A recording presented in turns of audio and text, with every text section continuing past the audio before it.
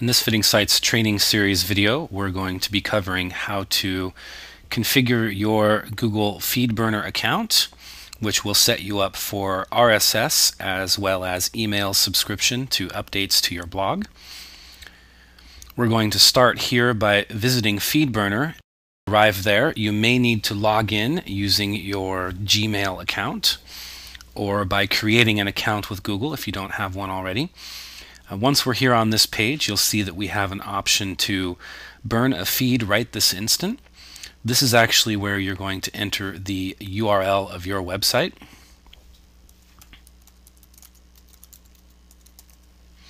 Once you've done that, all you need to do is click on the Next button.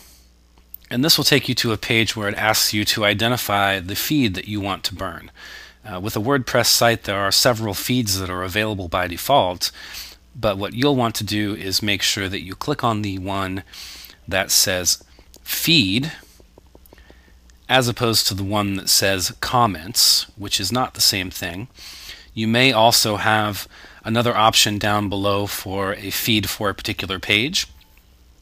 But what you want to make sure to look for is that you have a feed and that that feed is for your main domain name and just has slash feed at the end. So once you've located the correct feed, all you need to do is click on the next button. And before we go any further on this stage, this is the name of your feed. It's called your feed title. And this is given for you automatically based on your URL. You'll want to copy this and save it. You may be asked to provide this information when we set up your FeedBurner widget in your sidebar. And then once you're done, go ahead and click on the Next button. Here it's going to verify that you've signed up for your feed. Once we've done that, all we need to do is click on the Next button. And it's going to ask you for a couple of options here. We want to check these items to make sure that we are tracking click-throughs. And also check this box here to gather data for individual item views and also for the reach of our stories. These are analytics that FeedBurner provides based on how people interact with your RSS feeds, and it's great information to have available to you.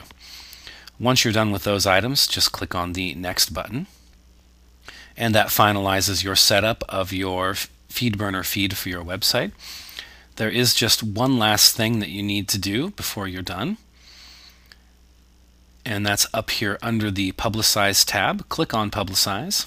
Once you're here on Publicize Your Feed, make sure that you click on the email subscriptions link. And once you are there, simply activate email subscriptions to your FeedBurner feed.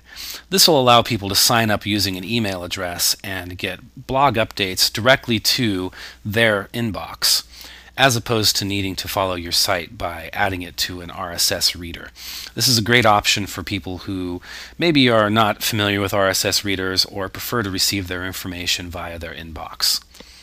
You can also see that once we're done with that, we have a code that's provided for us that this is actually something that you would put into a text widget in WordPress to allow you to set up an email subscription widget for your site.